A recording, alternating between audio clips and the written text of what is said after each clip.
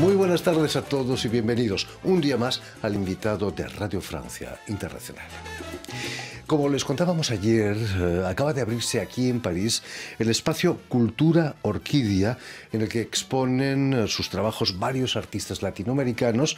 Uno de estos artistas es la colombiana Elena Fara, quien en estos últimos años se ha convertido aquí en París en la reina de la piñata, ese objeto típicamente latinoamericano que golpean furiosamente los niños en las fiestas navideñas, niños y los no tan niños.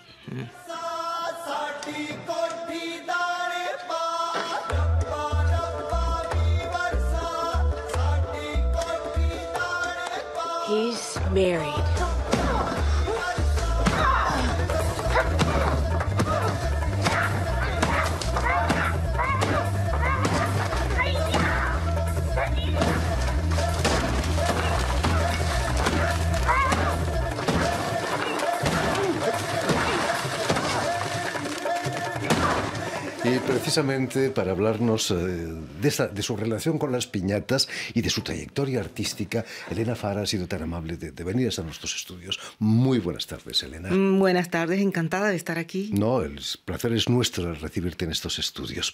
Eh, permíteme que explique antes que nada que has nacido en Bogotá, en Colombia, donde vas a realizar estudios de, de arte. Eh, ¿Te imaginabas en aquel entonces, cuando empezabas eh, a estudiar arte, que acabarías dando color a una ciudad como París, eh, tan gris como en estos tiempos que corren? Pero para nada. Además, nunca me imaginé que iba a hacer piñatas en mi vida. Fue un accidente. Empiezas Un a, lindo accidente, además. empiezas a estudiar arte porque te interesaba la pintura, la escultura. Eh, Más que todo la escultura, sí, sí. Y yo creo que eso es lo que me ha ayudado a que las piñatas tengan las formas que hoy día tienen. Las mías, pues. Este, sí, el arte siempre, desde muy pequeñita, es lo que más me, me gustaba. Vas a venir a Europa, primero a Londres, otra ciudad gris, ¿no? Donde Más vas a, gris. vas a estudiar tipografía, creo. Estu- estuve estudiando, es- yo había hecho mi, mi escuela de bellas artes en, en Colombia y en Londres, en los tres años y medio que viví, estuve un año haciendo un- una especialidad en técnicas de impresión. Mm. Serigrafía, litografía, grabado, todo esto. Y en 1978 decides instalarte aquí en París.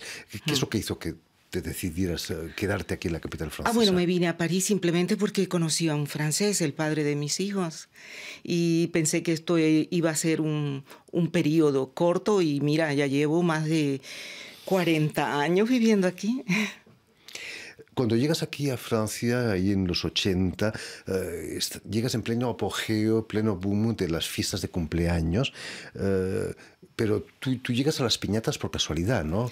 Fue una- que sí, fue, una, fue, una- fue un accidente lo de las piñatas, porque eh, eh, cuando mis niños estaban bien pequeñitos, eh, una vez esperando mi turno en, en donde el pediatra, eh, vi una revista que se llamaba Enfant Magazine y había un artículo que hablaba de la, de la nueva moda de festejar los cumpleaños.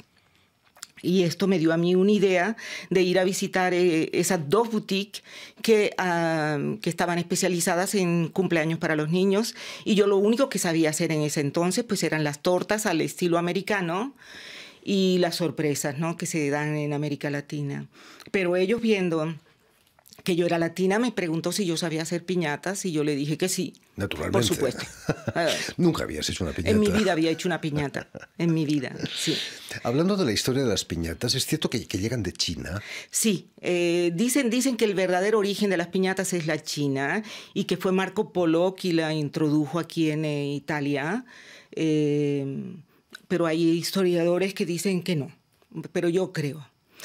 Yo sí creo porque en una ocasión con, eh, que hicimos una exposición de piñatas en, gale- en Galerías Lafayette, una señora china se acercó y me dijo que ellos en China tenían esa tradición también.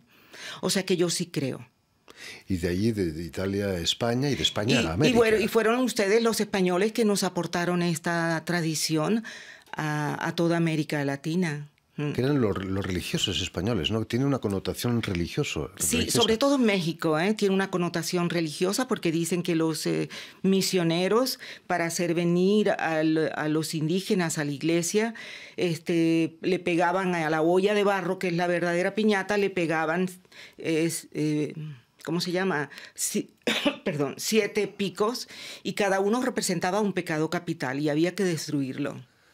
Y si lo destruías tenías el premio de lo que... ¿Qué, le ponían en la olla? Pues yo me imagino que es lo que, lo que siempre le ponen hoy día también, que son cacahuetes y clementinas, caña de azúcar, que es lo Monedas, que ponen... ¿no? Tampoco dinero, ¿no? Que es lo que, bueno, yo creo que hoy día sí, pero, pero la tradición es con, con esto. Y en 1986, Elena, vas a crear tu propia empresa, La Piñata, que, fue la primera eh, empresa dedicada a las piñatas aquí en Francia, ¿no? Es la primera tienda de piñatas que se abre aquí en Francia, sí. Y por aquel entonces los franceses no conocían lo, Yo creo que muy poca gente conocía la piñata, solamente la gente que tenía algo que ver con América Latina o que habían hecho un viaje a América Latina. Sí. Fue, fue difícil encontrar uh, el público para, para las piñatas. Um, no, yo no creo que haya sido difícil, porque como la piñata es algo eh, tan bonito, tan simpático, eh, no, no fue difícil. No fue difícil. Encontraste tú. Bueno, al tu principio fue lo único, lo único que le molestaba a los franceses era que encontraban que era muy violento, ¿no? Pero bueno, luego se dieron cuenta de que es una violencia bonita. Es una manera de desfogarse también. Sí, ¿no? pues claro. ¿Es cierto, Elena, que, que, tu popularidad aquí en París y de tus piñatas la debes en cierto modo a Frida Kahlo? No, Ah, no, no. Por una exposición. Que, que... No, nosotros, eh, a mí me invitaron como piñatera a una exposición que hubo en los almacenes Prentón hace muchos años. Ellos hicieron una, um, un evento muy grande sobre México. Y era una de las primeras veces que traían una retrospectiva muy grande de Frida Kahlo. Y yo participé a esta exposición como piñatera, sí. Y yo creo que esa, perdón, esa fue la gran puerta que se abrió para mí.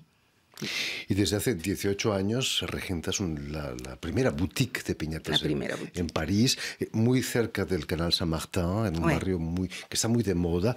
Una tienda muy, muy colorida, mira, la estamos viendo precisamente, mm. en un París tan gris, ese rojo intenso, da, da mucha alegría, ¿no? Sí, pues es lo que, y es lo que me dice toda la gente, ¿no? Que entrar a la boutique así no sea a comprar algo es, es un sueño. Imagínate. Mm, es un sueño. Uh, estamos en pleno plenos tiempos de pandemia. Imagino que la pandemia para, para ti ha sido un, un problema grave, ¿no? Sí, pues claro, ha sido un problema grave porque pues eh, la boutique no ha estado cerrada. Y las, las, fiestas se han suspendido. Y aún cuando se abrió, pues la, las fiestas están prohibidas, ¿no? Entonces, este, eh, eso nos ha limitado mucho, mucho. Hablando de pandemias, no solo creas piñatas, creas también flores, objetos para, para alta costura y sobre todo ahora máscaras, ¿no? Es cierto que, que, que se venden muy bien tus máscaras. Bueno, yo hice, yo hice muchas máscaras eh, para reírnos un poco del COVID, ¿no? Y esas, esas máscaras que, que hice eran pegadas a los maniquí o sea que no las podía vender. Luego me di cuenta de que eran tanto la gente que las quería que empecé a hacer máscaras en tela, pero en tela de fiesta, no, no como esas, pero he hecho algunas así para algunos clientes, sí. No están certificadas por, por el Ministerio de, la de Sanidad. No, no, no, no, además no deben ser nada confortables. Seguramente que no. Hace unos meses el Ministerio de Justicia aquí en Francia lanzó un certificado oficial de productos fabricados en las cárceles. Eh, la Piñata, eh, tu, tu, empresa, ha obtenido ese certificado. Sí, qué suerte tuve. ¿Cuándo empiezas a trabajar con detenidos de las cárceles francesas? Oh, hace 13 años que trabajamos en las cárceles, en la cárcel cárcel. Hace 13 años. ¿Cómo, cómo, cómo conociste que se podía dar trabajo a, los Bueno, eh, eh, la, mi historia en la cárcel comienza porque eh, antes yo tenía unos contratos para hacer piñatas para Disney, para Halloween. Y el único momento que yo podía hacerlas era durante el mes de agosto, que la piñata, la boutique estaba cerrada, porque eran 150 citruillas y yo no tenía que llenar mi boutique de citrulla. Entonces, mientras todo el mundo estaba de vacaciones, yo estaba haciendo piñatas en mi taller y yo siempre escucho el radio. La radio es eh, parte de mi vida. Y escuché justamente un programa que hablaba del trabajo en la cárcel y eso me abrió inmediatamente todas la, las puertas.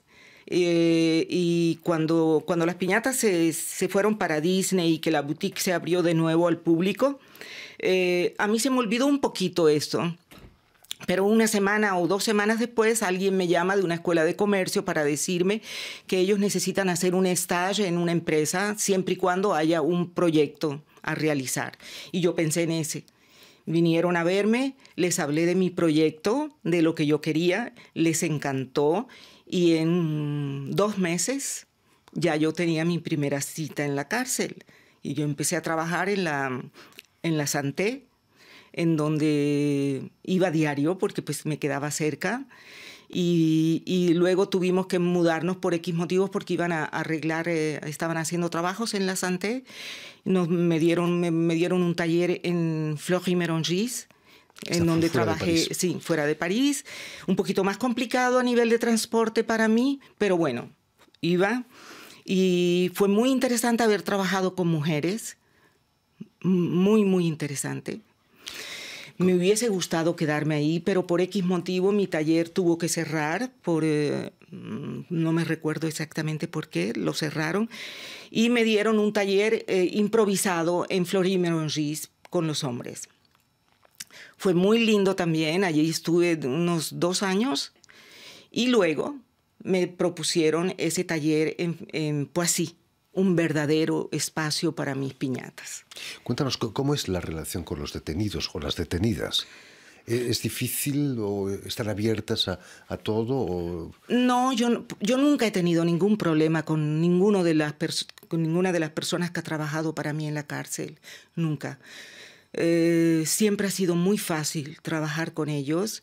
Eh, además es eh, gratificante, se dice así, ¿no? Gratificante. Gratificante, porque cuando ellos se dan cuenta de que además de nunca haber hecho nada manual, pueden lograr de hacer algo maravilloso, y me da mucho gusto a mí de transmitir esto. Además el tiempo pasa muy lentamente, ¿no? En detención. Ah, en la cárcel es muy lento. En la cárcel es muy importante tener un trabajo. Eh, ellos, eh, ellos, me lo dicen con frecuencia, que el, el tiempo les pasa más rápido cuando están en el taller. Yo he tenido detenidos que me han dicho, Elena, por favor, no nos vas a dar vacaciones. Pero por favor, no, no queremos vacaciones. Eh, el hecho que los detenidos eh, trabajen no tiene muy buena prensa, pero el label este que acaba de salir del Ministerio de Justicia certifica que los productos fabricados eh, lo son en condiciones inclusivas y irresponsables. Porque seguro que ha habido muchos abusos en el pasado. Yo pienso que ha habido abusos y, a lo mejor yo he caído también un poquito en la trampa, no lo sé. se les paga un salario definido para el, por el ministerio. Eh, eh, yo, bueno, no se les paga lo mismo que se les paga a un eh, empleado fuera de la cárcel, pero eh, no se pagan ciertas cargas que se pagan aquí afuera. Pero es importante dar trabajo en la cárcel. E, ¿Es cierto que reduce la, pena del detenido el trabajar? Sí, también les reduce la pena. Ahora, es importante que ellos trabajen, primero que todo, porque están ocupados. Segundo, porque se les reduce un poco la pena. Tercero, porque tienen un dinero, tienen un dinero que les sirve para cantiné, como ellos dicen, que es poder comprar eh, comida eh, o cigarrillos, que todo el mundo fuma en la cárcel, y, fuera de eso hay una parte del dinero que se les guarda para su salida. Eso también es muy importante.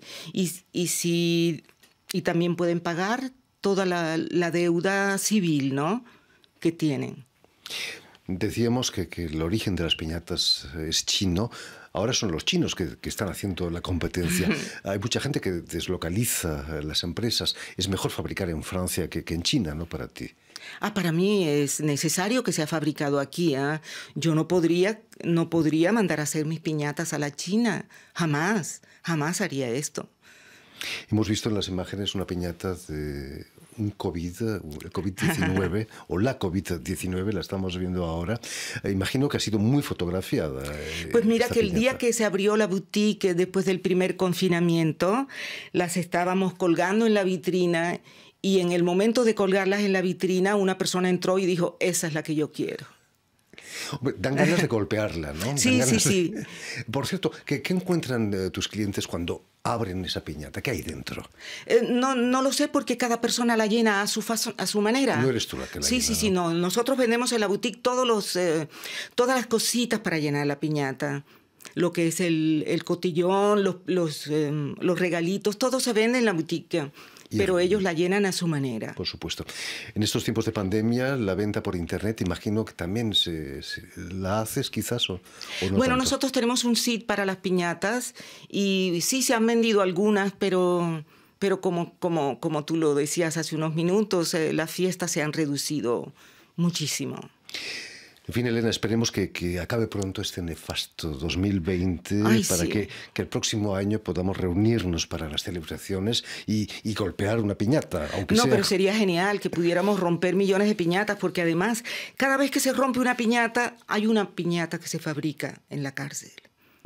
En fin, pues, pues ya lo saben, si no vienen a París, no pueden visitar la tienda La Piñata, pueden siempre visitar la, página web de La Piñata de París.